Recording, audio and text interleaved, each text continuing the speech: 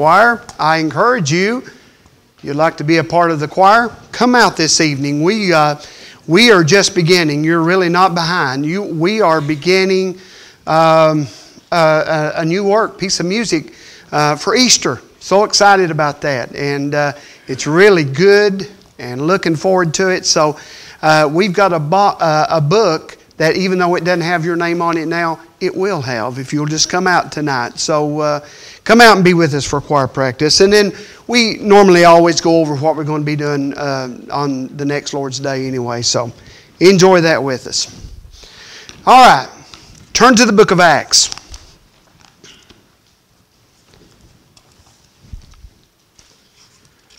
Acts chapter number 6. And find verse 1. Acts 6, verse 1.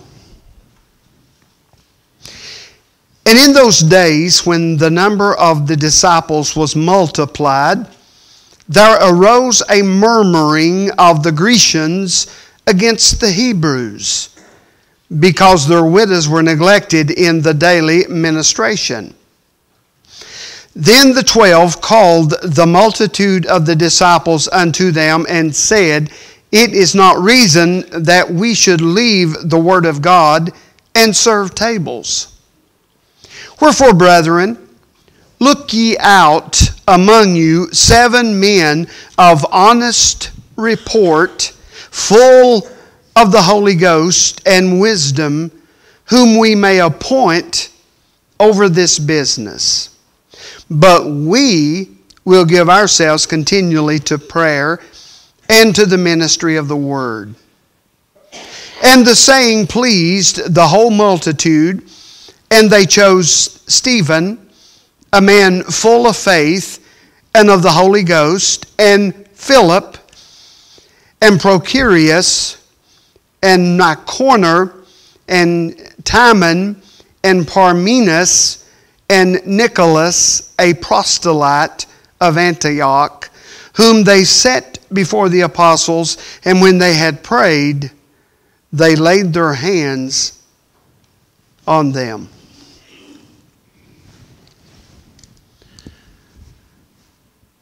This past Sunday, a week ago,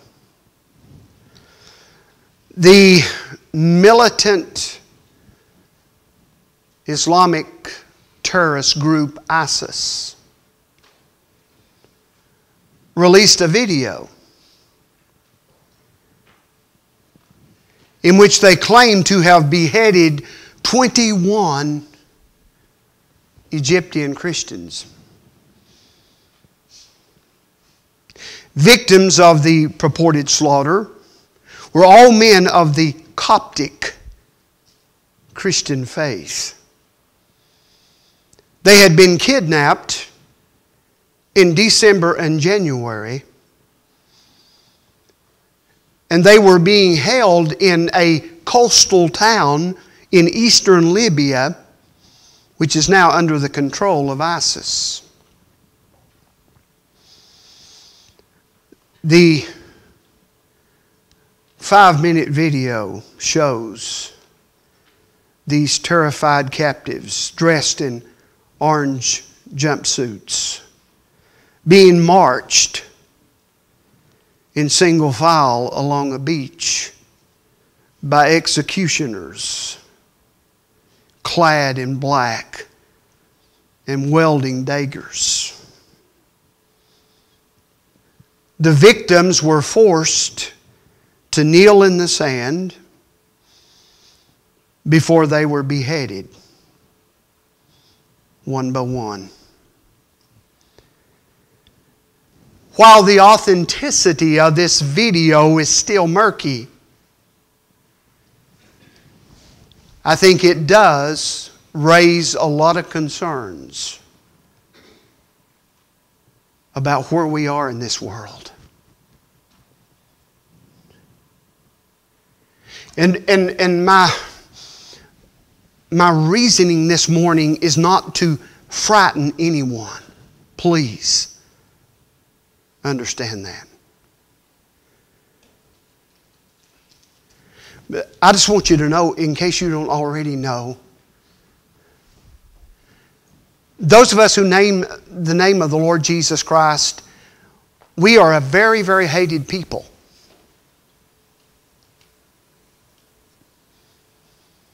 And so much of that is because of our association with the Jewish people. As Christians, our Savior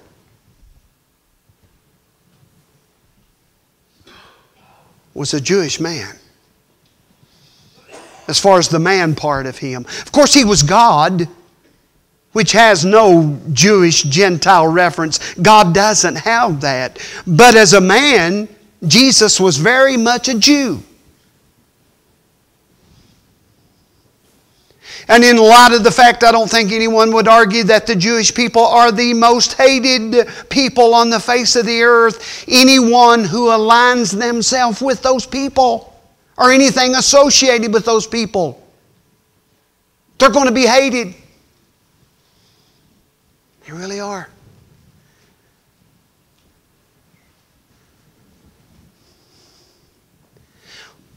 When I heard of this video,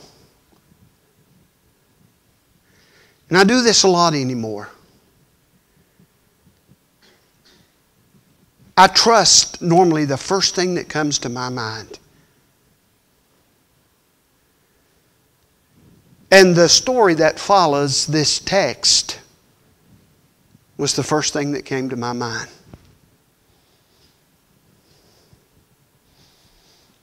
We're going to go a little farther. You see, the verses we read really have to do with the ordaining or the setting apart of deacons. Here's our pattern. Here. And we have tried to stay true to that.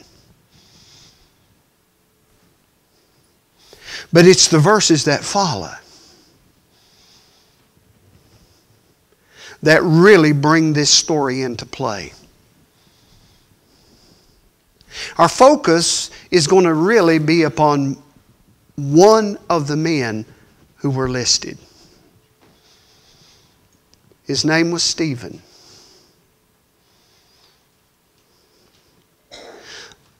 Those 21 people who were purported to be beheaded, if that indeed happened, they were not the first. I don't say that to take away from what happened, as horrible as it is. But they weren't the first. In our text, we're going to find the first one. And I want to say before we get to that, I don't mean that Stephen was the first person who was ever killed for his faith. No. No, you can go back in the Old Testament and find all kinds of people who suffered because of their faith in God, even to the point of death. But Stephen was the first. In the economy of what we call church dispensation, church age. Because that's much of what the book of Acts is about. It's the Acts of the Apostles in the formation and the carrying out of the church as we know it. Stephen. Stephen was the first Christian martyr of the church.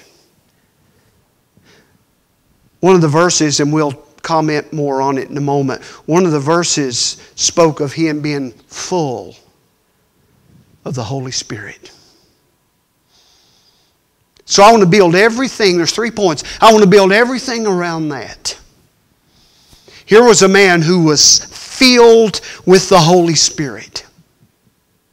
Understand, all who are believers have the Holy Spirit living within them.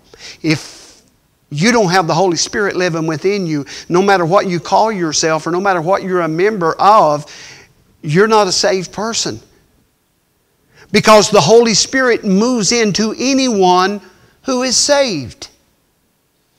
And He stays there. Contrary to what some teach.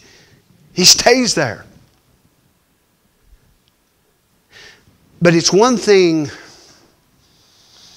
it's one thing to possess the Holy Spirit.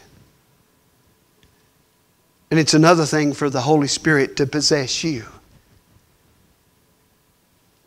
And Stephen was a man who was possessed by the Holy Spirit. Three things that being possessed of the Holy Spirit allowed him to do. First, it allowed him to serve. He was filled with the Holy Spirit to serve. That's what deacons are. They're servants. And while in our economy today and in, in our way of looking things, sometimes the ideal of a servant takes on something as being menial. But in the kingdom of God, being a servant is a wonderful thing. It's a place of elevation. Being a servant.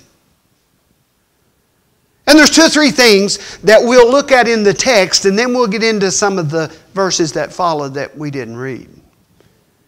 But I think it would be good to get to know Stephen just a little bit. First, he was a good man. The men who were chosen for this office, and there were six others, make no doubt about it, but our focus is on him because of what happened to him. It was said of these men that they were to be men of honest report. That's very important. These were men who had good standing in the community. Their reputation was good. Even to the point of what Scripture says is above reproach. Does that mean perfect, sinless? No. No. Deacons are no more perfect and sinless than pastors are.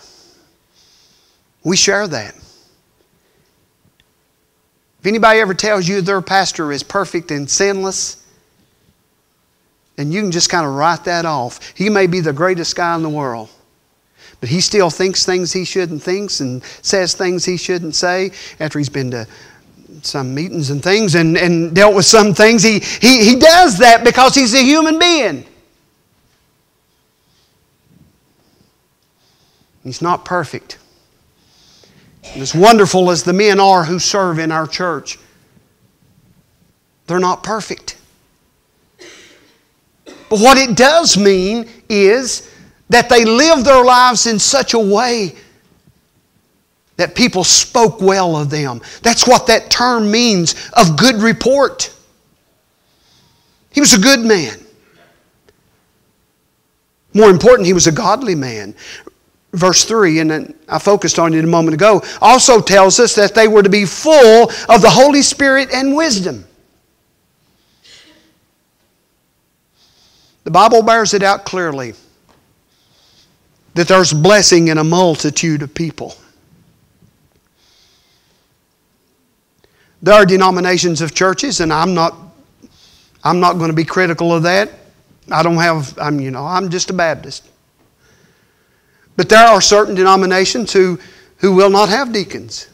I had a pastor tell me one time, I don't have them. They're just troublemakers. Yeah. Just troublemakers. So that pastor pretty much calls every shot. There's nothing done in that church financially, nothing unless he gives the, A- the A-OK.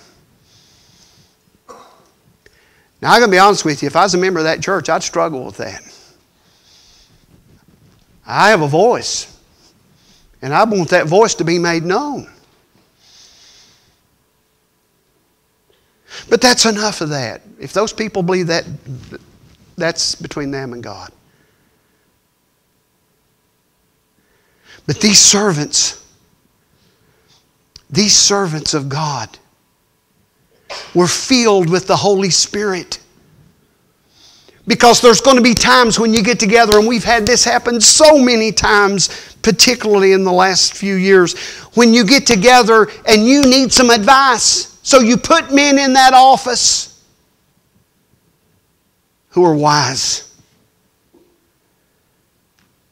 If the pastor calls all the shots, that's going to be the only direction you have. But if you have other men of God who are filled with the Holy Spirit, there's times, and I've seen this happen, that someone would bring up a point and said, Guys, have you thought about this?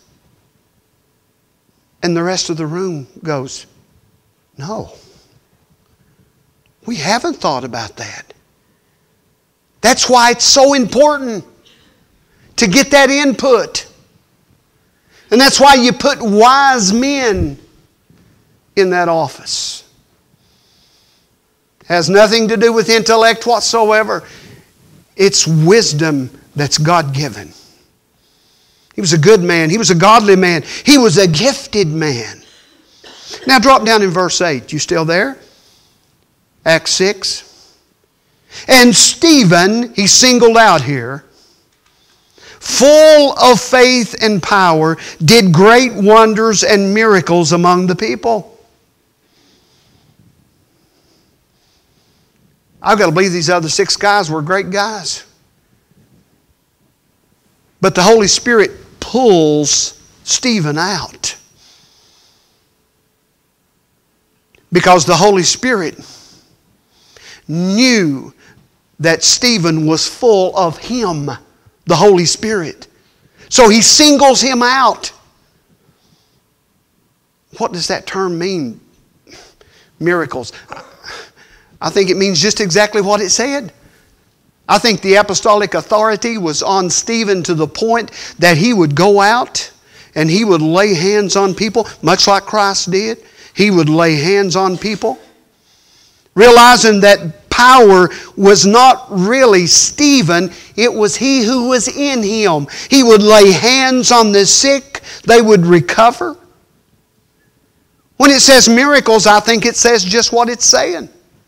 It's the same word if you search it in the Greek. It's the same word that was used to speak of Jesus. Same word. And by the way, in the book of Acts, he's not the only one.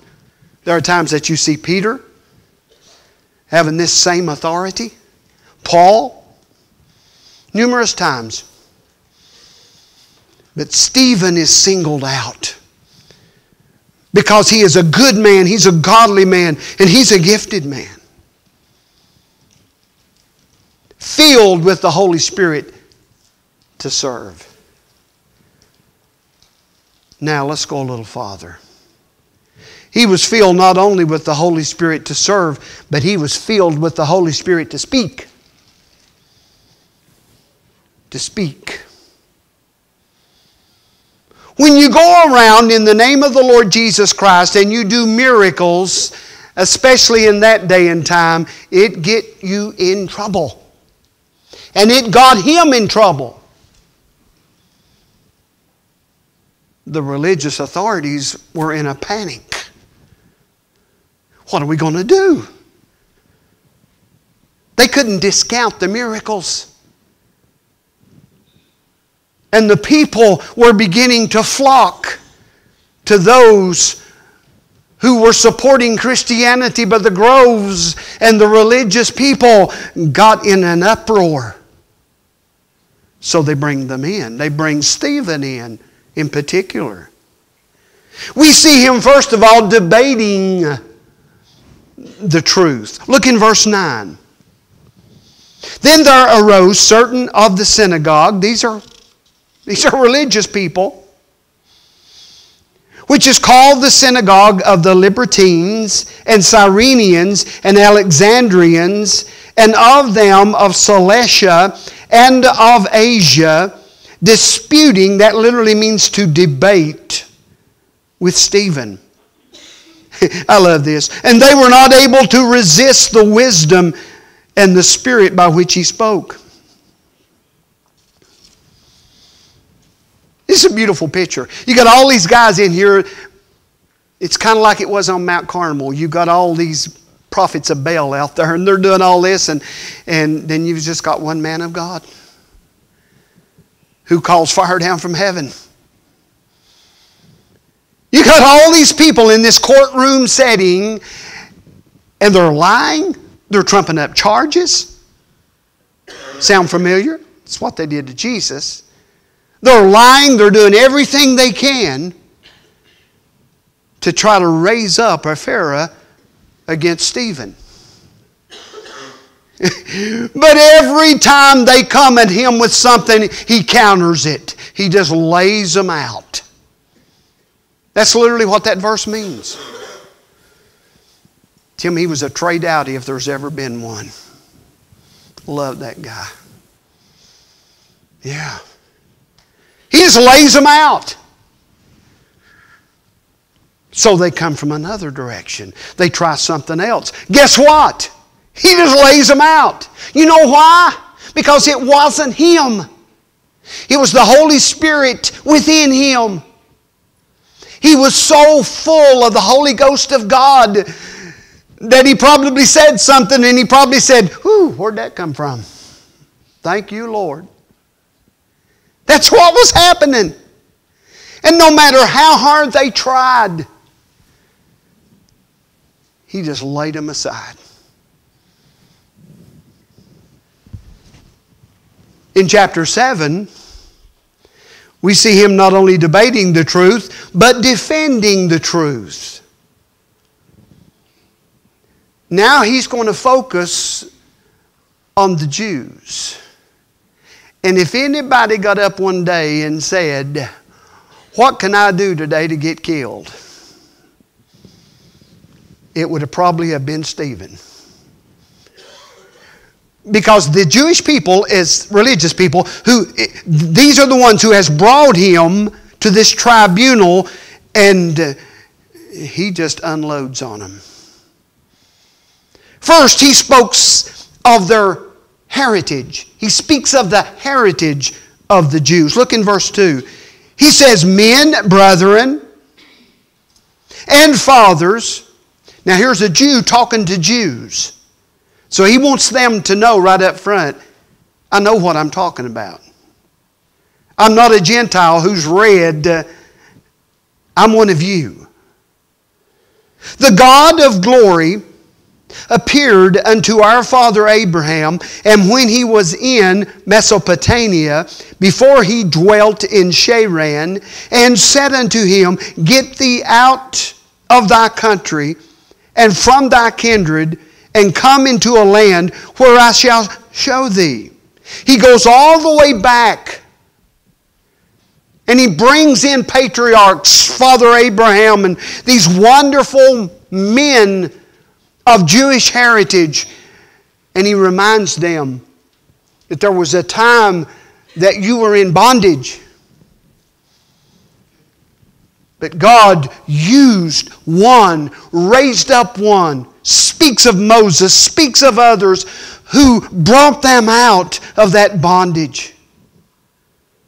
He wants that on their mind. He's telling them do you realize what a heritage you have? Simply because you're Jewish? Do you realize that God chose you? That'll not get you popular today. To go around preaching and telling people, I support and love the Jewish people. There's a lot of circles that won't be popular in. But, folks, whether it's popular or not, it doesn't change the fact that God did. You say, Well, I thought God was no respecter of persons. He didn't. And by the way, God did not choose the Jewish people because He's up there one day looking down and said, mm, eeny, meeny, miny, mo. I need some people. Maybe that bunch. No. No, He looked at the heart of men like Abraham and he saw in that heart a desire to want to serve him. And that so impressed God, and it takes a lot to impress God, that so impressed him that he said, That's the people. Those are going to be my people. And that tiny little nation, even in all their blindness, that tiny little nation that's surrounded on every border by people that hate them, they're still God's people. They are still God's people. Make no doubt about it. No doubt about it. I'll be honest with you, when I read the news and hear about things going on, I try to keep abreast. But when it comes to Israel, I don't get worried a whole lot. The future holds some bad times for the Jewish people, but that's well in the future. We're not at that point now. I don't worry about the Jewish people. They might suffer a minimal loss but let me tell you, God is going to protect those people because they are His. His people. And He's reminding them of this great heritage that God chose them. But then it really starts going downhill because He not only reminds them of their heritage, He reminds them of their hardness, hard heartedness in verses 9, th- 9 through 17. We're not going to read it all. He recount, uh, recounts the horrible treatment that their fathers had lashed out against Joseph. He goes all the way back and talks about how Joseph was treated, his own people, his own brethren. And that every step of his life was chronicled to the point that every time that you thought, well, oh, Joseph, he's done away from now. No. No. And he eventually assumes a place where he's at the very right hand of the Pharaoh, second in charge. In verses uh, 18 through 36, he speaks of Moses. I talked about it a moment ago. The liberator who God raised up to lead his people out of Egypt. They hadn't been out of Egypt no time till they come to the Red Sea. And every one of them had to be Baptist. They started griping and complaining. Well, thank you for bringing us out here. Was there not enough graveyards in Egypt to bury us? You're going to bring us out here so we can be buried in the desert? It's griped, complained. God did a miracle. They got a cross. They got hungry and God fed them from heaven. They didn't have anything to drink. God gives them something to drink from a rock. Yeah. And they griped and complained the whole time. Now he's talking to Jewish religious leaders. They don't want to hear this. It's the truth. In verses uh, 37 through 43, he reminds them of that event at Mount Sinai. Moses goes up on the mountain to receive the Ten Commandments, and he's gone for quite a while, and there's thunders and lightnings and everything going on on top of the mountain, and, and the people begin to talk and say, Our leader's gone, he's dead. He's went up there and God's killed him. We need us a God. So they gather up all the, the, the gold they can and, and precious jewels, and, and they make them an idol and they worship something they made. Makes no sense whatsoever. Absolutely none. He reminds them of that. It must have looked like that, that table did when I was talking last two Sundays ago about Darrell Waltrip when he made his statement about if you, you fellows don't know the Lord Jesus Christ as your Savior, you're going to hell when you die.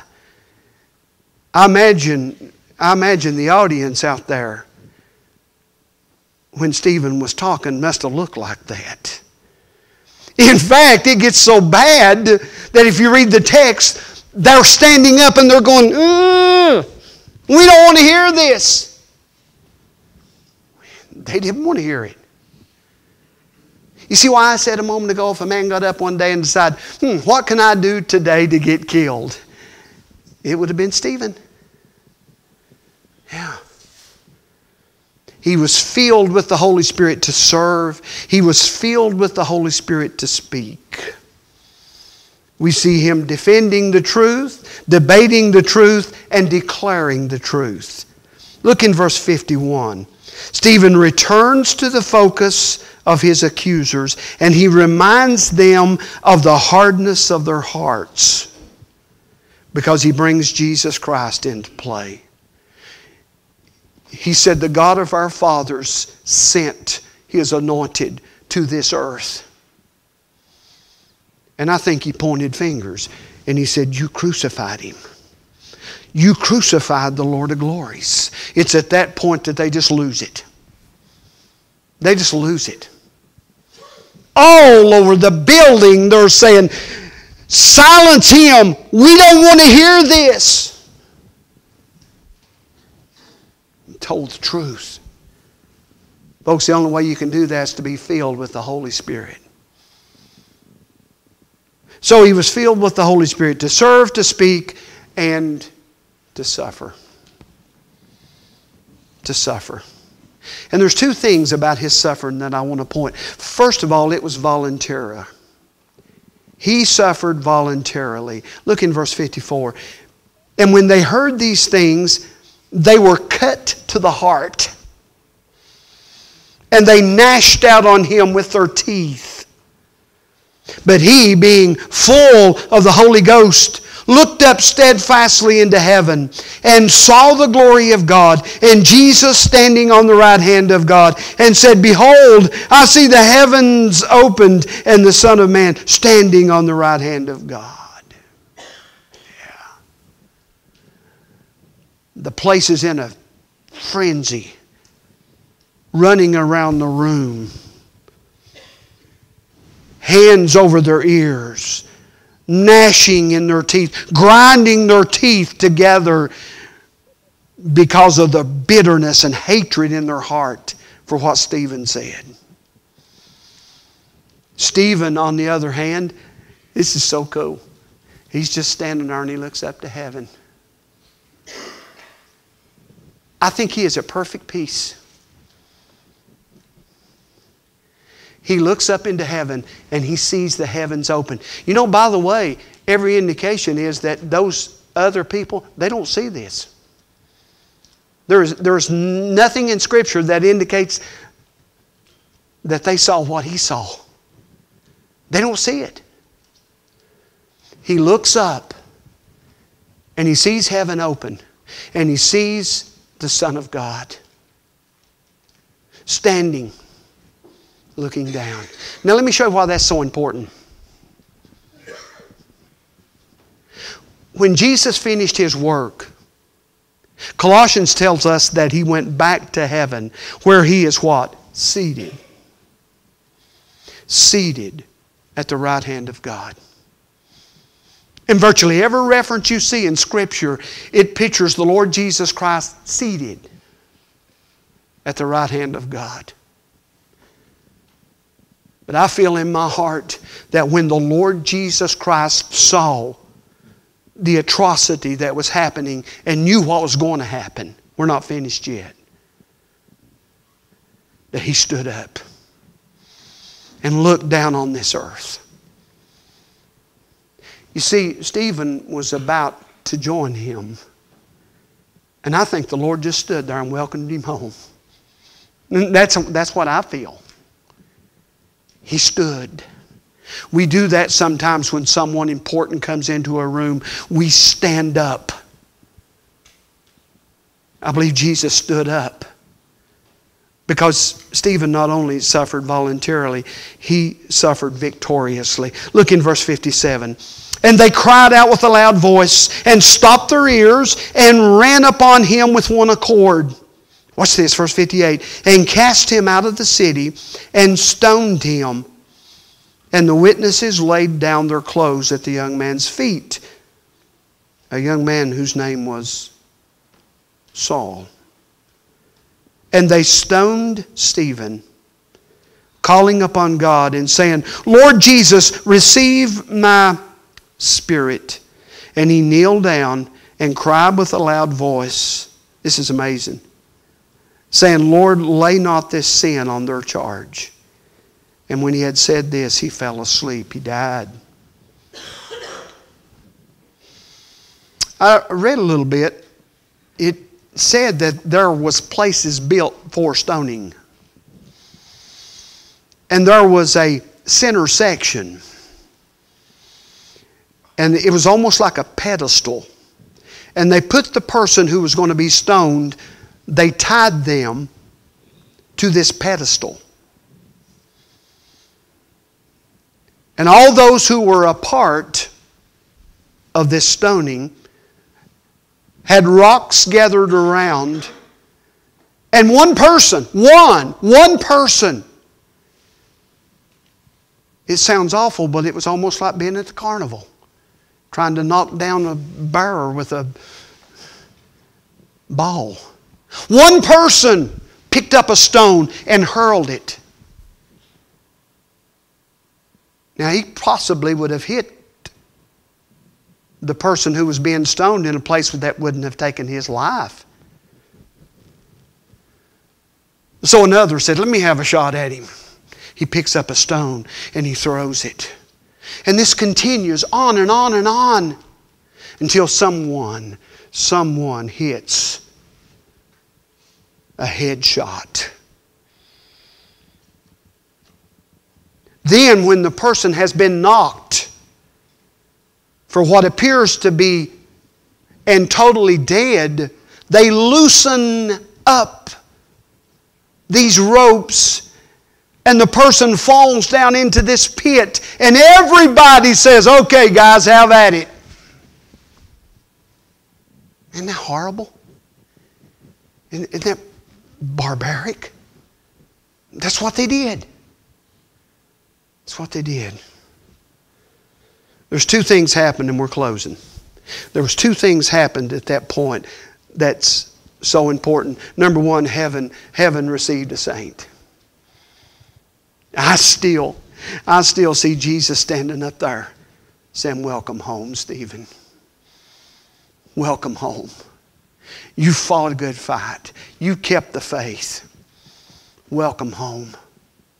But there's something else you see, not only did heaven receive a saint, but earth received a servant. Don't skip over that little part in there where it says that they laid the clothes and they singled out a particular person. They laid the clothes at the feet of Saul.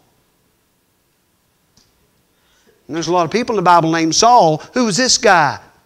Well, you'll know him better as Saul of Tarsus. Yeah, that guy. He's the same guy that would pick up the fight and try to destroy the church. Same guy. Who on the Damascus Road to try to get papers to have some of these same things done to other Christians. He's on a mission. Same guy. The Lord Jesus Christ strikes him to the earth with his face in the dirt. And that day, Saul of Tarsus was converted.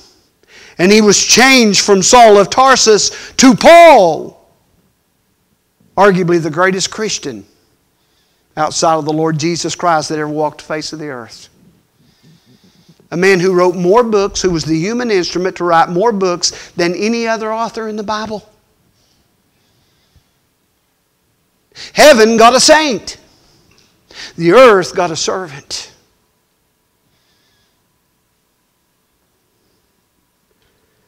If the deeds of last week did happen, it is an atrocity. And I don't want to take anything away from that fact. It's horrendous to think that a people would do something like this in the name of religion. And in their book that they revere so highly, they will give you verse and chapter that says they have the right and authority to do this. Yeah.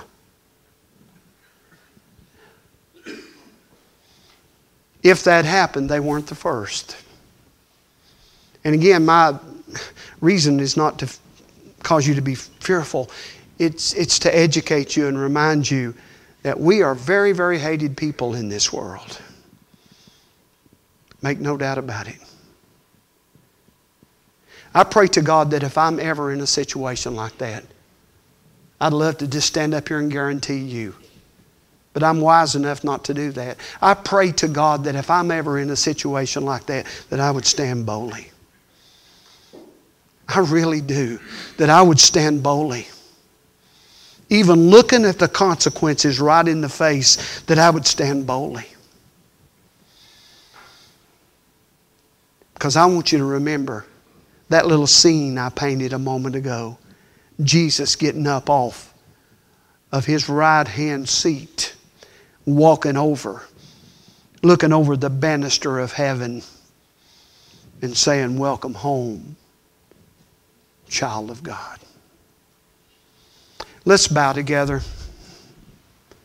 Do you know the Lord Jesus Christ as your personal Savior? Are you sure? Are you certain? Are you certain? If you've never trusted in the Lord Jesus Christ,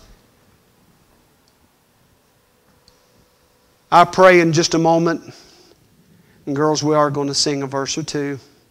I pray in just a moment that if God speaks to you, you'll come. Come and be gloriously saved. It can happen. It can happen. if as a child of God you say, Ronnie, I know I am, but I feel just like you a moment ago. I'd like to think that I would have the boldness of Stephen. But that's what I'd like to think. You may feel like coming down this morning and saying, Lord, help me with all the uncertainty in this world. If I'm ever in a situation similar to this, and it may not be anything this radical. It may just be on your job standing up. Young people, it may be at school standing up and not being ashamed to be a Christian. Say, Ronnie, I want that. If God speaks to you this morning and you feel you need to come down and pray, do that. Father, we thank you. We thank you, Lord, that we can find comfort in even the hardest and most horrible of all situations. Father, I pray for every Christian on this earth. These are very, very unsettling times. I pray, Heavenly Father, that you would give all of us courage and boldness to be able to stand for you, regardless of what we face. And Lord, I also pray if there's someone here who has never given their heart and life to the Lord Jesus Christ, that today would be the day that they come and trust Him. Whatever you would challenge us to do by your Holy Spirit, help us to be responsive. For it's in Christ's name we pray. Amen. Let's stand. We're singing hymn.